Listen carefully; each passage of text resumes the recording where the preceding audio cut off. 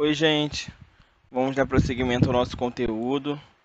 Hoje nós vamos falar sobre vôlei sentado, que é um esporte paralímpico.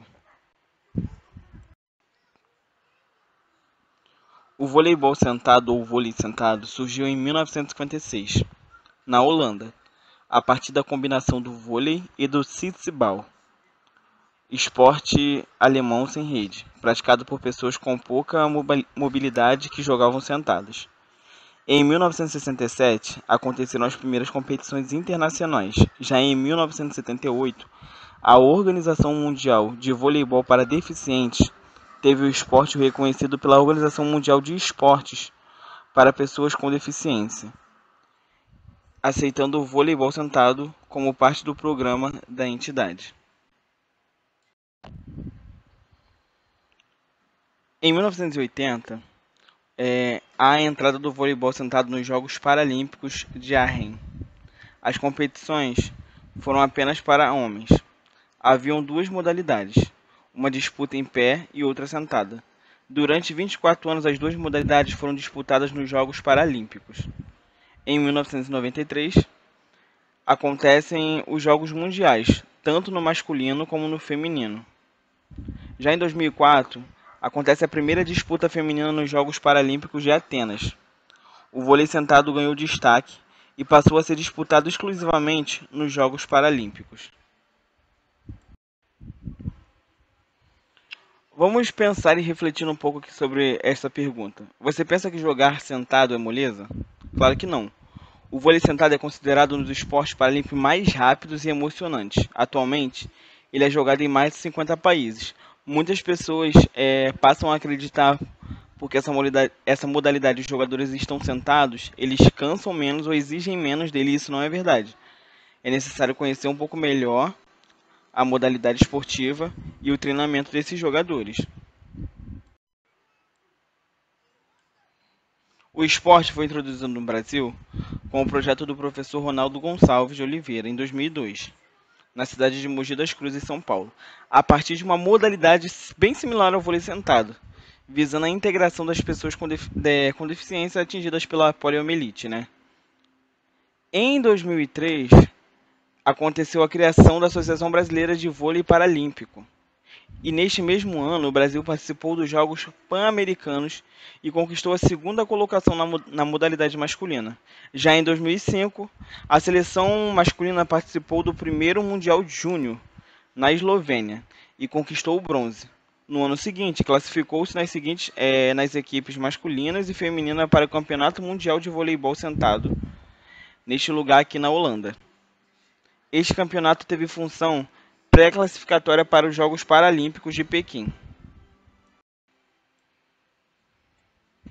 No ano de 2007, a seleção brasileira masculina conquistou o ouro nos Jogos Pan-Americanos do Rio de Janeiro. Foi um grande evento que nós tivemos aqui. Em 2008, houve a estreia da disputa dos Jogos Paralímpicos em Pequim, 2008, apenas com a seleção masculina. O time, é, o time terminou a competição em sexto lugar. Em 2012, nos Jogos Paralímpicos de Londres, o Brasil teve representantes nos dois gêneros, com as seleções masculinas e feminina, ficando em quinto lugar. Já em 2016, no Rio, nos Jogos Paralímpicos do Rio, a seleção feminina conquistou o bronze e a masculina ficou é, com o quarto lugar. Vamos falar agora sobre a característica dos atletas no voleibol sentado, no vôlei sentado, né? Os atletas eles são amputados, principalmente de membros inferiores. Pessoas com outros tipos de deficiência locomotora, sequelas de poliomielite, por exemplo, é, com sequelas permanentes no joelho, quadril, tornozelo ou semelhantes.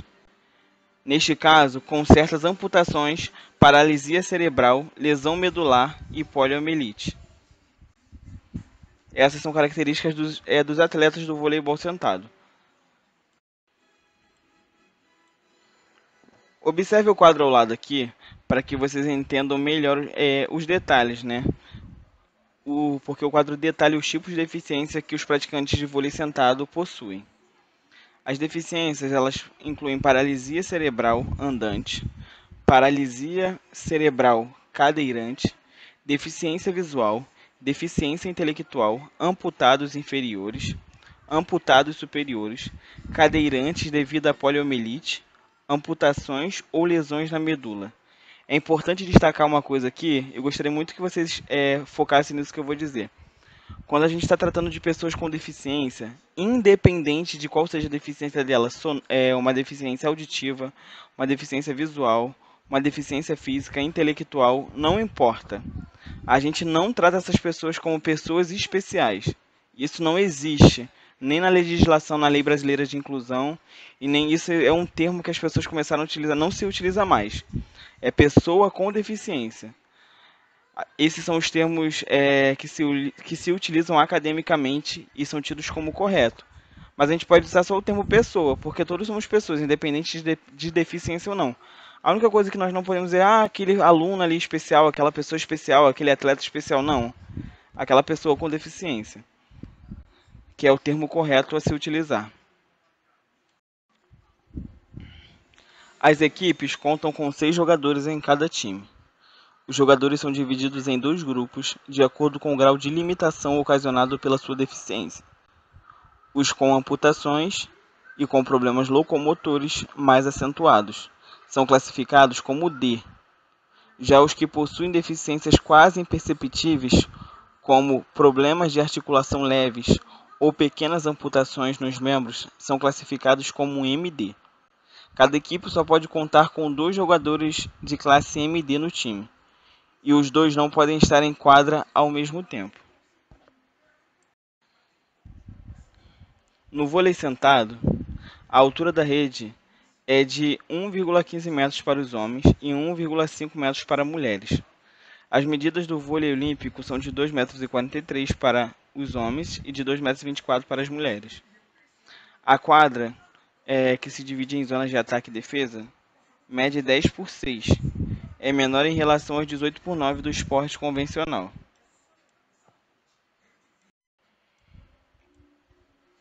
Ganha a partida a equipe que vencer 3 sets de 5. Vence o set o time que marcar 25 pontos. Em caso de empate nos 24 pontos, ganha o primeiro que abrir 2 pontos de vantagem. Caso a partida empate em 2 sets, há o set decisivo, chamado tie break, que é o menor, sendo vencido pela equipe que marcar 15 pontos primeiro. Há três maneiras de se marcar em ponto no vôlei sentado: derrubando a bola na quadra adversária, o time adversário cometendo algum tipo de falta ou quando o outro time recebe uma penalidade. Essas são as principais regras do vôlei sentado. Todos os atletas devem, têm que jogar sentados, independente da deficiência dele. Talvez algum deles seja um deficiente, mas que não impeça o movimento das pernas ou que ou os impeça de andar. Talvez alguns andem. Mas isso é, não permite que eles estejam em pé durante as jogadas. Todos os jogadores precisam estar sentados. Não há problema de acontecer o contato das pernas dos jogadores de um time com os outros, porém, as mesmas não podem atrapalhar o jogo do adversário. O contato com o chão precisa ser mantido em toda e qualquer ação, com exceção dos, dos, deslocamentos em quadra. O quadril, né, os glúteos, eles precisam estar em contato com o chão, a não ser apenas que vai se deslocar. Mas quando for tocar a bola, é preciso estar no chão. No vôlei sentado, o saque pode ser bloqueado. Gente, muito obrigado pela participação.